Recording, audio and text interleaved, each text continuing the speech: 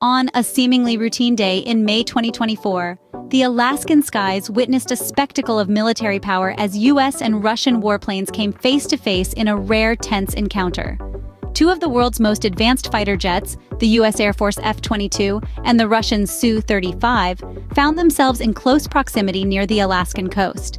This was no ordinary meeting of aircraft in the vast expanse of the sky. It was a dance of military might and strategic posturing, a rare glimpse into the ongoing rivalry between the United States and Russia. This incident, while not unprecedented, certainly underscores the tense state of affairs between these two global powerhouses. But what led to this aerial face-off?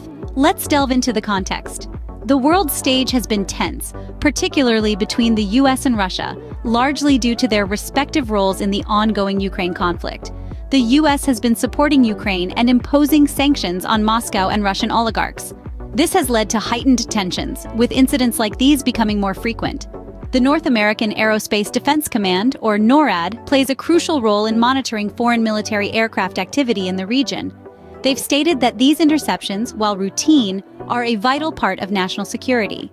The most recent encounter near Alaska, though not seen as a threat, is part of a series of interceptions of Russian aircraft in the region. While such incidents are part of a broader geopolitical context, they serve as stark reminders of the delicate balance of power that exists in our world today. So, what does this mean for the future of US-Russian relations and for global security at large? As we've seen, these encounters in the Alaskan skies could potentially escalate tensions between the two superpowers. The delicate dance of fighter jets, while routine, is a stark reminder of the intricate balance of power that exists. The stakes are high, and even the smallest miscalculations can have far-reaching repercussions. It's also worth noting that these incidents are not isolated. They are part of a larger narrative of geopolitical maneuverings, heightened military activity, and the persistent shadow of conflict. As global citizens, it's crucial that we stay informed about these developments. Understanding these events and their potential implications is key to making sense of the world around us. As we navigate these uncertain times, one thing is for sure. The skies of Alaska have more stories to tell.